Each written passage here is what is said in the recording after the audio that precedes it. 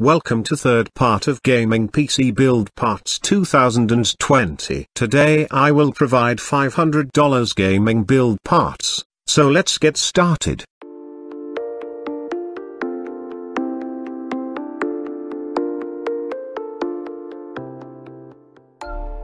AMD's Ryzen 5 2600 was, and still is, one of the best budget CPUs money could buy, thanks to the introduction of their Ryzen 3000 Zen 2 CPUs, the second gen CPUs now showcase even better value for money. I know, God bless the processor war. This processor comes to shelves boasting 6 cores and 12 threads clocked at a base speed of 3.4 GHz, more than enough to handle the most popular AAA game titles out there. That being said, it can be boosted to 3.9 GHz with AMD's Precision Boost. It has been custom designed for gamers and has superb single-core performance perfect for games. The multi-threaded nature of this CPU also makes it a standout performer when it comes to multitasking and heavy workload tasks as well. All in all, a fantastic CPU at an affordable price tag. The RX 570 is considered the top budget GPU in this price range and comes equipped with all the punching power of its master,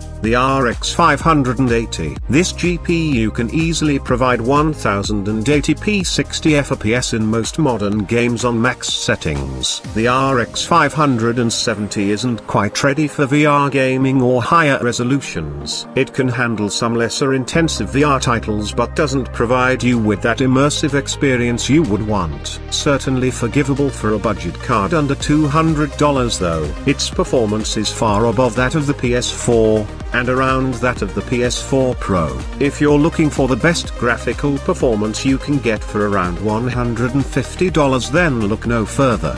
The XFX Radeon RX 570 offers superb aesthetics, excellent performance power, and an efficient cooling solution to boot. XPG Z1 RAM kit offers 16GB of DDR4 RAM, which should be more than enough for most gaming and multitasking scenarios. It displays solid value for money and the slight bump in clock speed naturally makes it better than a lot of entry-level DDR4 RAM kits you'll find out there. As with most budget builds, compromises have to be made to ensure the performance power is up to scratch. With our $500 custom build, the storage capacity has taken a slight hit. We had to opt for the 240GB SATA to SSD to make sure we have enough room in the budget for the bolstered RX 570 GPU. Unfortunately, we weren't able to equip our $500 build with a modular PSU. Having said that, our Corsair 450 watts bronze rated PSU will power this machine like a dream and will provide great efficiency for years to come. For a custom build at this price range,